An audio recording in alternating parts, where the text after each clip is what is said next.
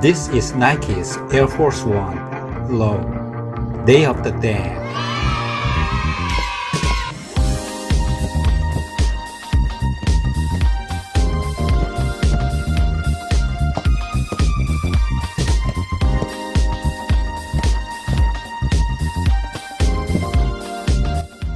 At first glance, it may appear to be a slightly simple white low top with colorful yellow, blue, pink, and green piping. However, on a closer view, you can see their signature detail.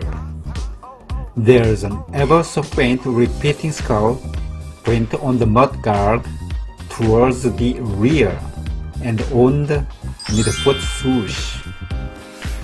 There you can see a pink skull on the insoles, while more special pink graphics also adorn the tongue.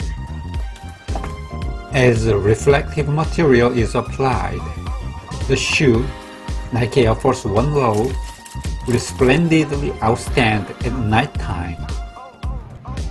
The Air Force One has defined shoe culture since the moment it set first foot on the cart, and it becomes a mainstream of the fashion because of its clean lines. A Nike Air unit is installed at the thick rubber midsole for effective cushioning, which creates the signature AF1 silhouette.